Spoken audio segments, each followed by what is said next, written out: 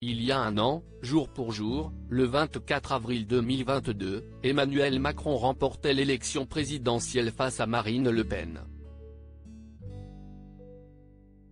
Pour célébrer sa victoire, le candidat de Renaissance ne s'est pas rendu à la brasserie La Rotonde, comme en 2017, mais au domicile d'une célèbre chanteuse.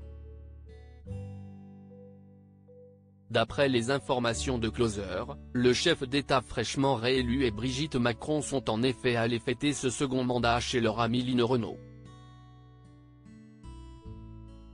L'ancienne meneuse de revue aurait ainsi invité Emmanuel et Brigitte Macron chez elle. D'autres célébrités étaient également conviées à cette petite réception, parmi lesquelles l'homme d'affaires Xavier Niel, le chanteur Vincent Niclot, Orlando, le frère de Dalida, ou encore Danny Boone et sa compagne, Laurence Arnay. Quelques photos de la soirée avaient fuité sur les réseaux sociaux, avant d'être supprimées, rapportent nos confrères. L'amitié entre Line Renault et le couple présidentiel n'est un secret pour personne. La star et Brigitte Macron ont noué une tendre amitié. Entre ces deux passionnés de culture et de cinéma, l'entente ne pouvait être qu'évidente. Après leur rencontre chez un ami en commun, la comédienne de 94 ans et l'ancienne professeure de lettres ne se sont plus quittées. Que ce soit pendant les meetings des élections présidentielles de 2017 ou lors de cérémonies officielles, la vice-présidente du SIDAction montre un soutien sans faille au couple présidentiel. Ils sont terriblement sympathiques et accessibles, confiait ainsi Line Renault à Gala, en novembre dernier.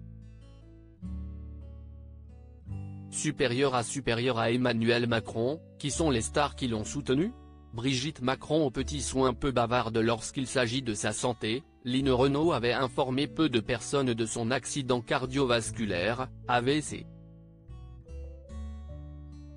Et outre ses deux filles de cœur, Muriel Robin et Claude Chirac, la première dame avait été l'une des rares privilégiées à être au courant. Très inquiète pour la santé de Line Renault, Brigitte Macron avait tenu à être aux petits soins, comme en témoigne une vidéo diffusée lors de l'émission C'est à vous, en novembre 2020. Dans cet extrait, les téléspectateurs pouvaient voir l'épouse d'Emmanuel Macron ordonner à la comédienne de la série Meurtre dans les Trois Vallées de s'asseoir. Il faut avoir de l'autorité avec elle, ironisait-elle. Article écrit en collaboration avec 6 médias. Crédit photo, Stéphane Le Mouton.